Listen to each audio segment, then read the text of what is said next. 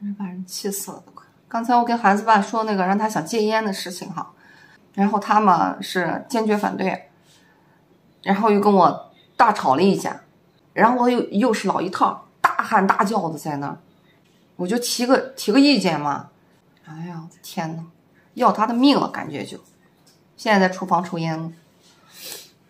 我就是抽个烟嘛，你说叨叨啥嘛？叨叨叨叨没完没了。那难道我说的不对吗？你对孩子的我一点爱好，我能干啥？你爱好可以，你到厨房抽去嘛。我又不喝酒，我抽烟怎么了？你那烟味无处不在。那娃娃马上放假，天天在房子被烟熏着。现在大冬天又出不去，窗户都开不了。现在不像夏天啊，你一抽烟开开窗户还好一点。不是一根接着一根抽呢，我就偶尔抽一根，我能干啥？偶尔嘛，你一天一包半。抽个烟，你这还叨叨叨叨没完没了。那肯定不行呀，你影响到孩子了呀。抽个烟是十块钱的烟。我跟你好好在那说呢，刚才你你你看看你，吹胡子瞪眼的，大吼大叫的在那要你命了。那你现在去熏孩子，那不是你亲生的。我刚才也是好好在跟你说呢，然后我想商量一下，然后嘛也尽尽量的让你劝劝你啊，或者实在不行到厨房瞅，你一看看你暴跳如雷的，太烦人了，知道不？真的，大家真的刚才没看到他那个样子，气死我了都快。再说抽烟对自己的身体也不好呀，你要是实在戒不掉的话，你就慢慢的可以少抽，或者说是你到厨房抽去就行了，不要在客厅里冒着大烟。咱们这冬天多冷，窗户都打不开，就就不是打不开都不敢开，这房子那么冷，你开一会儿窗户，整个房子都冻透掉了。行了，真懒得跟你说，你自己掂量着看吧。我跟你说，我也不想跟你吵架。反正就是你要想抽就到厨房抽去，你要不到厨房抽我我就我我就给你找事儿。你把娃娃熏成傻子了怎么办？你是没两天就要找个事儿是吧？啊，是我找事儿吗？我我这两天娃娃在放假呢，天天在家里面呢，我看着你在这熏他，我不难受。我哪个地方熏他了？离我那么远，怎么会熏到他了？你就在沙发这儿，他在沙发那儿，就在同一个沙发上坐着，只不过没坐到一块儿。哦，你看你那个嘴叨叨叨叨叨叨，别别别别，多太会。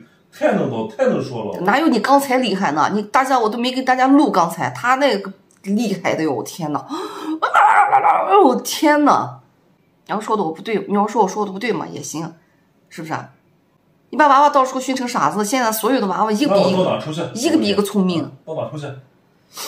到厨房呀！我跟你说，厨房那有抽烟机吗？就抽走了吗？你不是偶尔抽一根吗？你在厨房偶尔去抽一根又怎么？你又不是说一一直在抽，那你就一直在厨房待着，要不然你就把烟戒掉。戒烟干啥呢？对自己好，对我们家人好呀，对我和米果好，对你自己身体也好呀。我理解你，我理解。你要实在是没这个毅毅力的话，你要戒不掉的话，我知道戒烟。没有说没有这个毅力，我打算就没就没压根就没打算戒过。好。你既然不把你自己身体当回事，那你也请你爱惜一下我们俩的身体，行不行？请你以后抽烟到厨房抽啊！没有那么夸张。二手烟更厉害，知道吧？比一手烟还要伤害大。看到你现在这么烦人啊！我看到你也不顺眼。我就不喜欢这种的啊！就是遇到问题，我们俩讨论问题，有些时候争论的时候，他绝对不会好好讲话。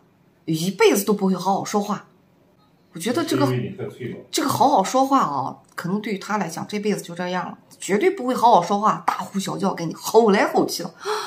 哎呀，我的天呐，我头都炸了，都快！还人家说我因为我太脆弱了，因为我太脆了，说的。我也，你也就是碰到我够坚强的了，要是再碰到任何一个人，早被你吼跑啊。哎呦，你跟我算了。